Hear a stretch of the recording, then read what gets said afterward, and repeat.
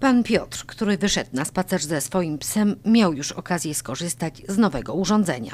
Psie odchody trafiły do wnętrza tajemniczej maszyny. Zabawić się? O! o.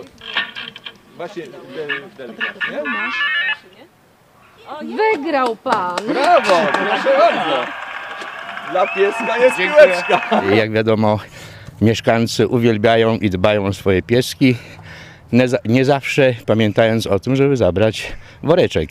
Rekuperator, bo tak nazwano urządzenie, zainteresowało mieszkańców osiedla na Skarpie. Żeby to każdy robił.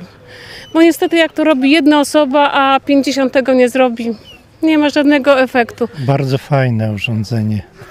Czy to na stałe będzie? Nie, to jest tylko taka akcja, tak? Rzeczywiście, rekuperator będzie służył mieszkańcom okolicznych budynków tylko przez miesiąc.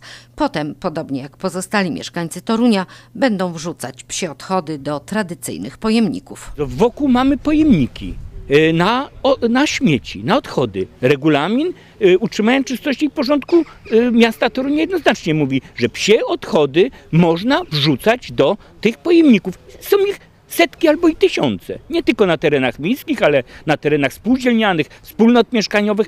To jest miejsce na psie odchody, nie trawniki, nie chodniki.